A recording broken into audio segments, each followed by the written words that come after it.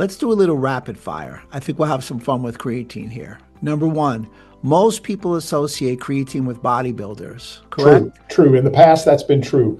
Thankfully, it's giving way to an understanding that uh, there's a true overall body medical need for creatine to optimize our health. The appropriate amount to dose per day is 5 to 10 grams pending what about a loading dose of 20 to 25 per day for a week? I'm going to say that for most people, a loading dose is never needed. And I'm going to say that 5 to 10 grams per day is only applicable with creatine monohydrate because you have to take that many grams in order to get about one gram into your system. And that has to do with the molecular efficiency. You've got to take creatine with sugar to get it into the muscle cells.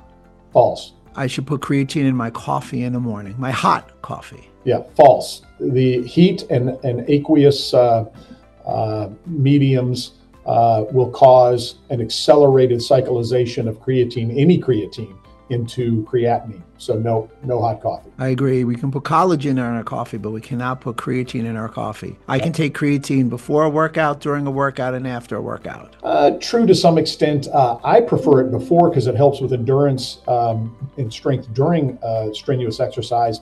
Afterwards helps with recovery, but the residual creatine that you take before also helps with recovery. So it, it's good really at any time, but uh, for, for strenuous exercise and for optimal athletic performance or fitness active lifestyle performance, I like it 30 to 60 minutes before so that it peaks about an hour later in the blood and is providing the energy that you need during that workout or that exercise uh, to, to have it be more fruitful. Do you like your creatine formulas with other nutrients? Or do you like it solamente? I usually take it solamente. The one thing that I really do like creatine with um, is with a nitric oxide booster, a really mm. good citrulline, because as you're delivering more functional energy, you still need good oxygenation of your cells if you're going to be active so that you can uh, uh, keep up a good wind and not get gassed as quick.